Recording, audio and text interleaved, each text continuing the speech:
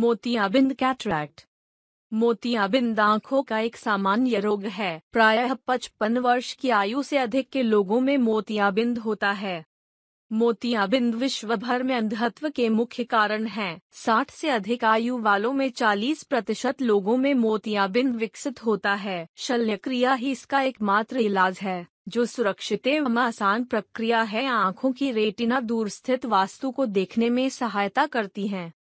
धीरे धीरे आँखों के लेंस अपनी पारदर्शिता खो देते हैं और इंसान को दिखाई नहीं देता है। इस तरह रेटिना का धुंधलापन ही मोतियाबिंद होता है। सामान्यतया मोतियाबिंद शल्य चिकित्सा से ही सही होता है।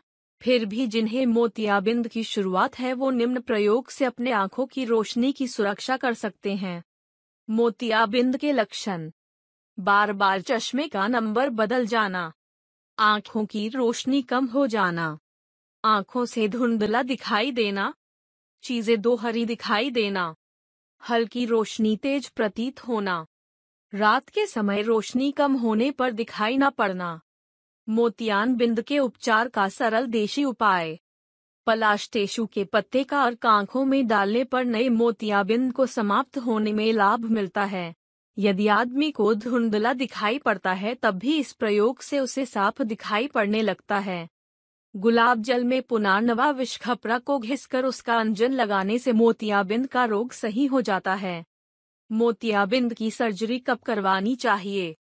सर्जरी तब करनी चाहिए जब मरीज़ को अपनी पसंद की चीज़ें करने के लिए पर्याप्त दिखाई न दें। यदि दृष्टि केवल कुछ धुंधली हो तो मोतियाबिंद का इलाज करने की आवश्यकता नहीं होती है। बस चश्मे बदलने से दृष्टि के सुधार में मदद मिलती है, लेकिन केवल थोड़े समय के लिए।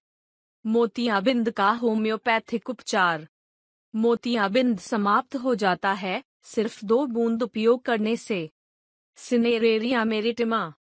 यह होम्योपैथ में मोतियाबिंद की पेटेंट दवा है। यदि किसी आदमी या औरत को मोतियाबिंद हो जाता है तो इस दवा का रोज दो बूंद दिन में तीन बार लगातार चार से पाँच महीने आँखों में डालने पर मोतियाबिंद की बीमारी जड़ से समाप्त हो जाती है। यहाँ इस बात का ध्यान रखना चाहिए कि थोड़े दिन के प्रयोग से इस दवा से लाभ नहीं होता है। इस दवा को आँखों में डालने के साथ यदि किसी भीतरी दवा का भी सेवन किया जाए तो ज़्यादा लाभकारी होता है। मोतियाबिंद को रोकने की उत्तम होम्योपैथिक दवा है साइलिसिया।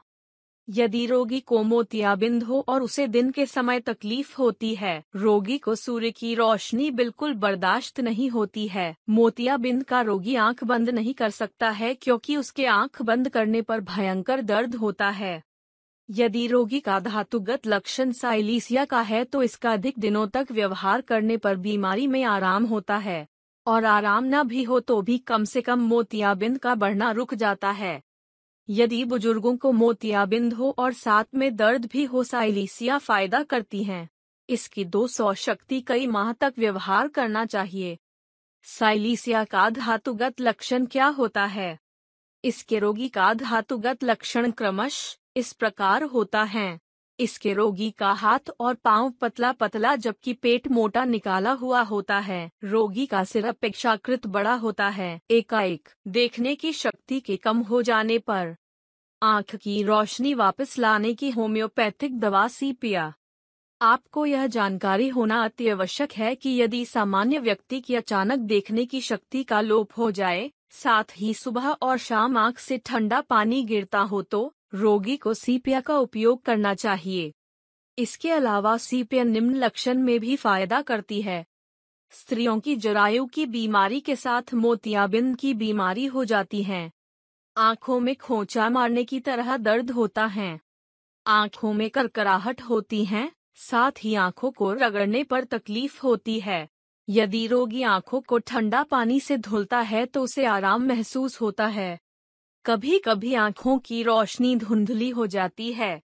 सीपे स्त्रियों के नाना प्रकार की बीमारी में लाभदायक और एक एंटीसोरिक दवा है। आँख के लेंस में चोट लगने के बाद साफ़ दिखाई न पड़ने की उत्तम होम्योपैथिक दवा है सेनेगा। भारत में सेनेगा वृक्ष को सांप काटने की दवा के रूप में उपयोग किया जाता है। इस दवा के रोगी को आँख और नाक में मिर्च पीसकर लगा देने की तरह जलन होती है। इसमें रोगी को एक चीज़ दो दिखाई पड़ती है।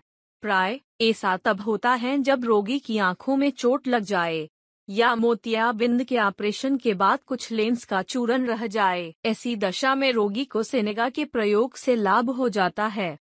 इसकी तीस या दो सौ शक्ति का प्रयोग किया जा सकता है। चिकित्सकीय परामर्श के अनुसार दवा का सेवन करना हितकारी है। आँखों से गदलापन दिखाई पड़ने की उत्तम होमियो दवा है नैफुथलिन यदि आँखों में की समस्या है तो इस दवा के प्रयोग से मोतियाबिंद समाप्त हो जाता है। यदि रोगी के रेटिना पर पेच की समस्या है तो इस दवा के प्रयोग से सही हो जाता है। दृष्टिहीनता की दशा में भी यह दवा फ़ायदा करती है। संक्षिप्त रूप में हम यह कह सकते हैं कि soft cataract, opacity, deposit in patches on retina. Amblyopia में यह दावा फ़ायदा करती है। ऊपर प्रदान की गई जानकारी मात्र नॉलेज ग्रोथ के लिए है। किसी भी दवा के प्रयोग से पहले डॉक्टर से कंसल्ट ज़रूर करें। वीडियो अच्छी लगी हो तो चैनल को सब्सक्राइब ज़रूर करें और बेल आइकॉन को दबाना न भूलें ताकि हमारी लेटेस्ट वीडियो की नोटिफिकेशन आपको सबसे पहले प्राप्त हो। आप अपने सुझाव हमें कमेंट करके ज़रूर बताएँ। धन्यवाद।